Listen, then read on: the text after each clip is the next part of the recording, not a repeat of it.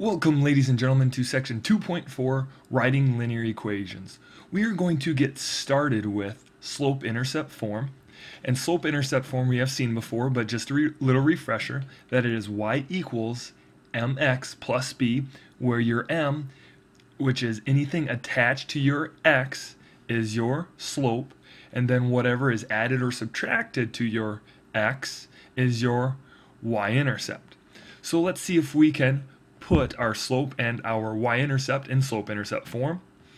So we have y equals, and then m is 1 third, so that 1 third is going to go in for m.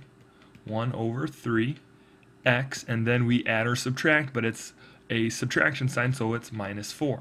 Now let's go ahead and graph this bad boy. So if I'm graphing this, my y-intercept, I would always start with your y-intercept. It is negative 4, so I'm going to go on my y-axis. I'm going to go down 4 and put a point right on negative 4. Now my slope is a positive one-third. Remember, slope is also known as rise over run. So I'm going to go up 1, and now since it is a positive one-third, I'm going to move to the right 3 and put a point. Right? You could keep doing that, or from your original point, if you wanted to go backwards, you would go down and since it is a positive slope, you would want to move to the left to have that slope go up from left to right. And so once you have your dots drawn, you can go ahead and connect it with a line. And there is a line of y equals 1 third x minus 4. Next, we are asked to write an equation in slope-intercept form for each line that is shown so the first thing that we want to do is to find our y-intercept. So we look here and we see that it goes through negative 1. So our y-intercept, our b, is negative 1. Awesome. Now that we have our y-intercept, we want to see what our slope is. Right? You can pick two points just like what we did yesterday, find the slope, or you could just count. So I'm going to count to my next point that goes through a grid, and I see this point right there goes through the grid. So I'm going to count from here, go to there. So my rise is 1, and I go over 1, 2. So my rise, again, was 1. I went over 2. This is a positive line because it is going up from left to right. So now if I write it out, I have y equals, my slope is 1 half, then it's attached to my x, and then minus 1. Let's try the purple line. Well, first thing we do is pick out our y-intercept. Our y-intercept here is 2. Now we have to find another coordinate where the purple line passes and it's right there. So now let's count to it. So now I go down 1, 2, 3. So here my slope is going to be 3 over and then I have to go over 1, so it's 3 over 1. And now we look at our line, is it going up or down? It is going down from left to right, so it is a negative 3 over 1. We are writing this in slope-intercept form. We have y equals, our slope is negative 3 over 1, or just negative 3, x plus 2. Now we have point slope form, which makes our life a little bit easier where we have this y sub 1 and x sub 1 is our point and our m is the slope. And in point slope form we will always have a y just a single y and this x hanging around. This y sub 1 and x sub 1 will actually be numbers when you put it in point slope form. So let's see what we can do with this. Now it asks find the slope intercept form now this is key find the slope intercept form of the equation of a line that has a slope of 3 fourths and passes through uh, coordinate point 8, 2. Well, we have to get it into something that looks like this. Well, we have a slope and we have a point, right? So we could use this and manipulate it a little bit, but why not just use point slope form and make it look like slope intercept form? So let's go ahead and try it. We start off with y minus, and now from our point, from our point, it is xy. So I'm going to subtract 2 from that y, because that's where the y coordinate goes, equals our slope is given to us. It is 3 fourths, and then we have the first x minus our number x, which is 8. And now we go ahead and distribute. So it's going to be y minus 2 equals 3 fourths x minus 6. We add the 2 to the other side. So we have y equals 3 fourths x minus 4. And now, does this look an awful lot like slope-intercept form? You bet. And so now we wrote a equation of a line in slope-intercept form of a slope 3 fourths and passing through this point. Now let's try another one. Again, we're asked to write an equation in slope-intercept form, so something that looks like this. We are given this point and a slope of this, so we can use point slope form and rewrite it to make it look like this. So let's go ahead and try it. We have a x sub 1 and a y sub 1. So let's go ahead and write y minus, what's y sub 1? It is 3. And that equals my slope of 2 times x minus and x sub 1 is also 2. And now once you put it in point slope form, all we have to do is solve for y or get y by itself. So we distribute first. y minus 3 equals 2x minus 4. Adding the 3 over. y equals 2x minus 1. And there is the point slope form of the line. A couple more. Now we are asked to write an equation of a line that is passing through the given points. Well, here are given points. Now we have to find a line that passes through it.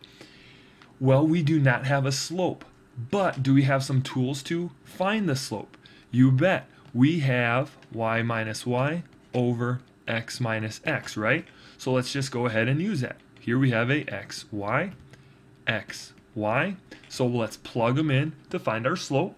So now we have 7 minus a negative 3, and that's over. We have to go from the same point now, negative 2 minus 3, which turns out to be minus a negative makes a plus, so it's 10 over negative 5, which turns into negative 2. So now we have a slope of negative 2. Now we can pick any coordinate point we want, and I'm going to pick this coordinate point and use point slope form and then change it into slope intercept form. So let's go ahead and try it. Now I have y minus a negative 3 equals negative 2 for my slope and then x minus 3.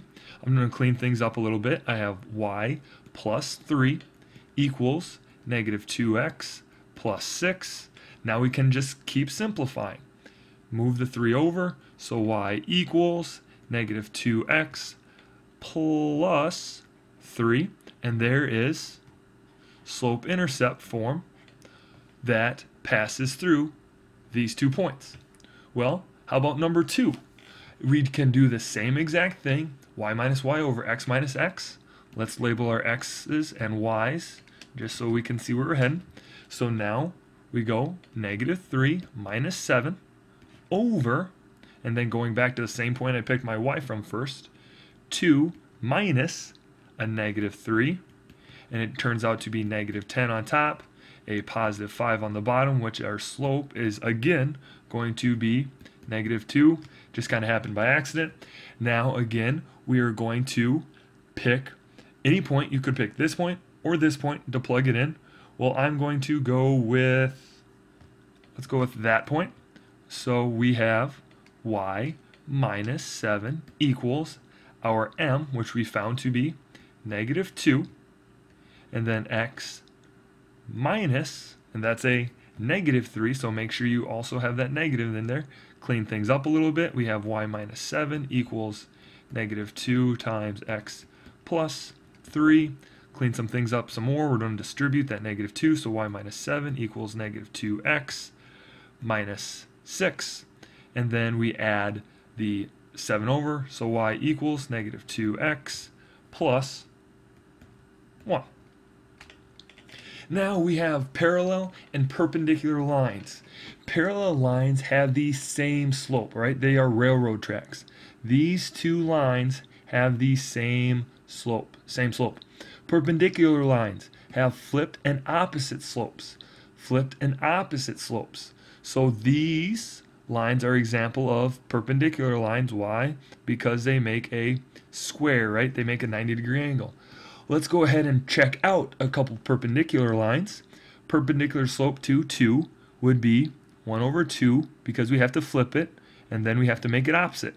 3 over 4 would be this uh, perpendicular to negative 4 thirds.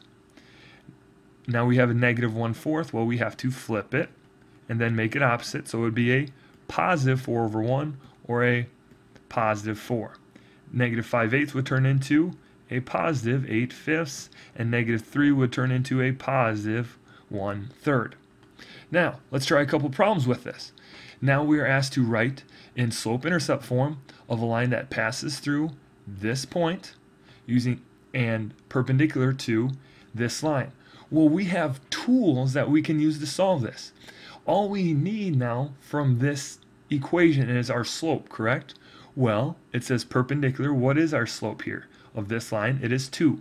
A perpendicular slope is flipped and opposite, so our slope here, our m, would be a negative 1 half. As soon as you find your slope, now we can go ahead and plug it into our point slope form. So let's go ahead and try it. Again, this is x sub 1, y sub 1. So here we go. y minus a negative 6 equals our m of negative 1 half times x minus 8. We clean some things up and distribute y plus 6 equals a negative 1 half x plus 4. And one more, here we go, we subtract it over, so y equals a negative 1 half x minus 2, and that is the equation of a line that passes through 8 negative 6 and is perpendicular to y equals 2x plus 3. And now what if we're asked for a line parallel? Well again, the very first thing we have to do is to find our slope. So here, a parallel line would have the same slope. A parallel line would have the same slope. So here our slope is negative 3. We can use this coordinate x sub 1 and y sub 1 for a point. So again, we're using point slope form. We have y minus 2 right here equals negative 3 times x minus 1. We go ahead and distribute that negative 3, so y minus 2 equals a negative 3x plus 3. Moving the 2, y equals negative 3x plus 1. And there is our slope intercept form of the line. Notice how they have the same exact slope, just a different y-intercept. And that does it for section 2.4, writing linear equations. Good day.